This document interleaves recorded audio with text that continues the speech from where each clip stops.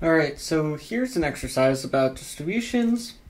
So show that a distribution function has at most countably many discontinuities. So let x be a random variable with distribution function f. Let di be the set of discontinuities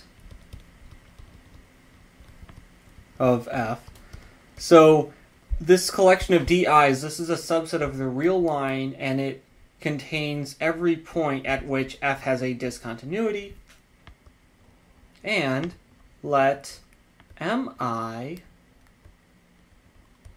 be f of di minus f of di minus. And remember, f of di minus is the limit as x approaches di from the left of f of di. And we know that um, distribution functions are right continuous, meaning that the limit as x approaches um, the limit as y approaches x from the right of f of y will equal f of x, but that's not necessarily true from the left. And in fact, in cases like this, it's not true because what f of di minus f of di minus tells us is this tells us how much of a jump there is between um, how much of a jump there is in the um, distribution function at the point di. So di is a discontinuity of f, and mi tells us how big of a leap that discontinuity is. Okay, so since di is a discontinuity point of f,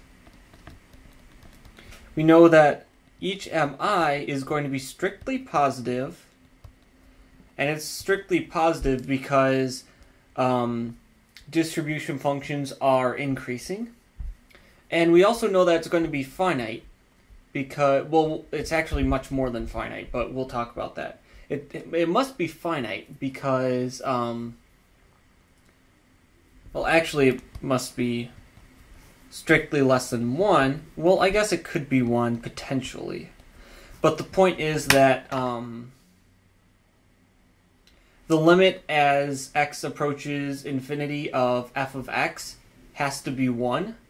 And so this jump cannot be larger than 1. Because if it were larger than 1, then we wouldn't have a distribution function anymore.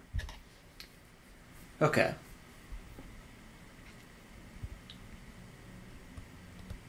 So let's state that. So we know the limit as x approaches minus infinity of f of x equals 0 and limit as x approaches infinity of f of x equals 1. And so the sum of all the mi's must be less than or equal to 1. And this is because the sum of the mi's is a lower bound The fact that f is increasing means that the sum of the mi's is a lower bound on um, the difference between the limit as x goes to minus infinity of f of x and the limit as x goes to infinity of f of x.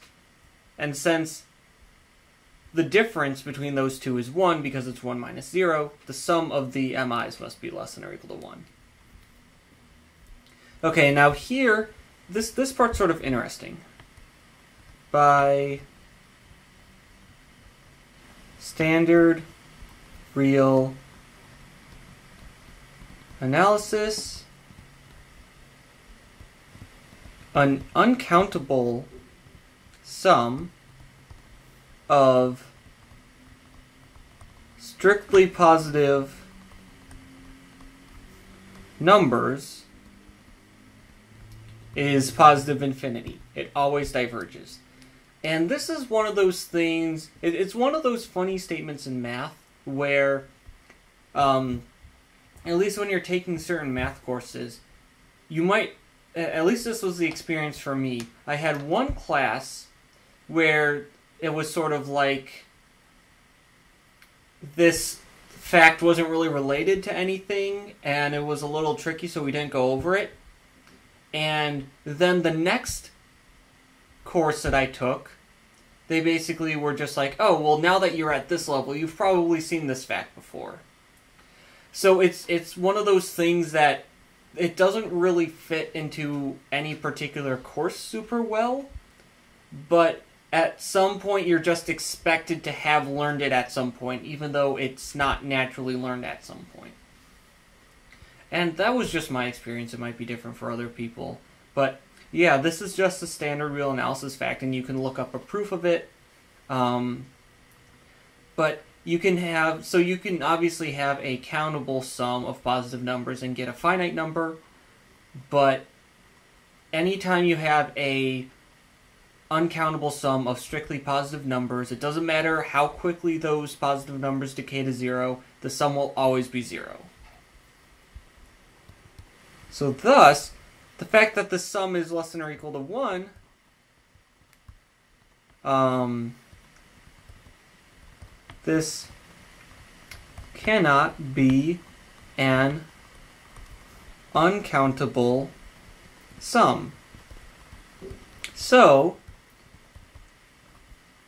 the collection of the mi's is at most countable.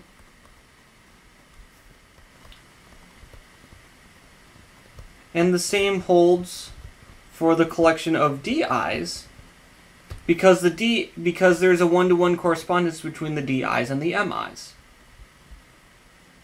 and so to say that the collection of di's is at most countable means that the distribution function has at most countably many discontinuities. And that's exactly what we wanted to prove. And so now we're done.